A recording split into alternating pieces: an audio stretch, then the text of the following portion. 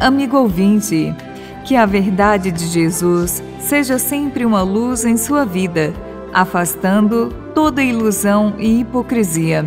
Ainda no contexto de uma refeição em casa de um fariseu, Lucas, no capítulo 11, versículos de 47 a 54 de seu evangelho, apresenta as duas últimas advertências feitas por Jesus aos fariseus aí presentes. Ai de vós que edificais os túmulos dos profetas. No entanto, foram vossos pais que os mataram. Assim, vós sois testemunhas e aprovais as ações de vossos pais, pois eles mataram e vós construís os túmulos. Ai de vós, doutores da lei, porque ficastes com a chave da ciência. Vós mesmos não entrastes e ainda impedistes os que queriam entrar. Mateus, em seu evangelho, introduz todas estas advertências com a expressão: Ai de vós, escribas e fariseus hipócritas. Em reação às denúncias de Jesus, os escribas e fariseus empenham-se cada vez mais em provocações para pegá-lo em alguma palavra que justifique sua condenação. O judaísmo, com seus escribas e fariseus, surgiu a partir do exílio da Babilônia, adaptando as tradições do antigo Israel. A casta sacerdotal implanta um poder teocrático, tendo o sumo sacerdote como chefe supremo. Desde então, é apenas este que fala em nome de Deus sendo reprimida qualquer atividade profética.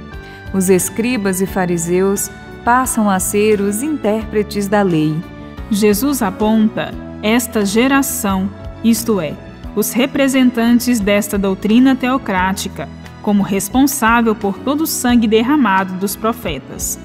Jesus lembra o nome de Zacarias, que foi apedrejado no pátio do templo, e agora é o próprio Jesus que querem matar. Com sua prática amorosa e libertadora, Jesus vem revelar Deus ao mundo, a todos os povos e nações, além dos estreitos limites da antiga doutrina de Israel. Para Jesus, o que agrada a Deus é um coração puro, libertado das ambições e maldades, e que transborda em atos concretos de amor aos irmãos. Contemplando Jesus de Nazaré, encontramos a luz que mostra o caminho que leva ao Pai. Bíblia, Deus com a gente. Produção de Paulinas Rádio. Texto de Irmã Solange Silva. Apresentação: Irmã Solange Silva e Irmã Bárbara Santana. Deus com a gente.